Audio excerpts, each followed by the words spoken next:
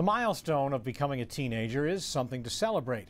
But a mom from Augusta couldn't afford to throw her son a 13th birthday party. The family has huge medical expenses because JC Giroux has severe epilepsy and autism.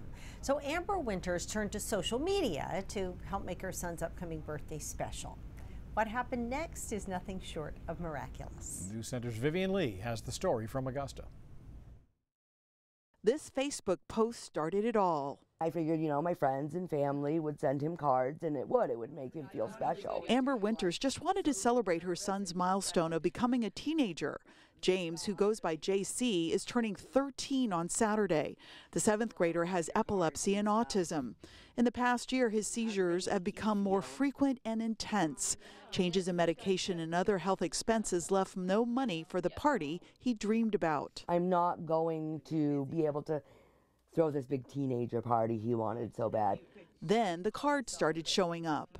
This one is from Caroline in Farmington. Have lots of fun at the whole day through.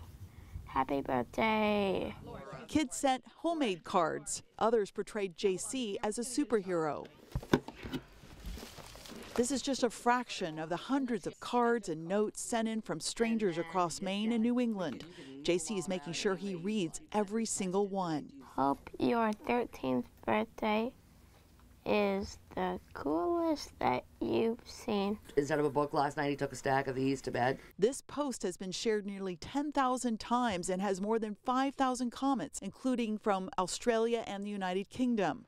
That compassion is contagious. Laura Benedict saw the post on her news feed while on vacation in the Bahamas. This is exactly what I live for.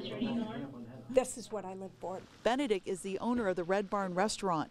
The eatery is throwing a birthday party for JC with food and balloons on Sunday. Now, unbeknownst to the owners of this iconic Augusta restaurant, chicken from the Red Barn is JC's all time favorite food. In fact, last year when he was hospitalized following several severe seizures, it was the only thing he would eat. And that's what the season's about. That's what Maine's about. An outpouring from strangers. JC's parents say they hoped for, but never expected. I prayed, and this miracle was bestowed upon him in the form of kindness from so many people. A great day. Birthday wishes lifting up a sick boy Happy birthday.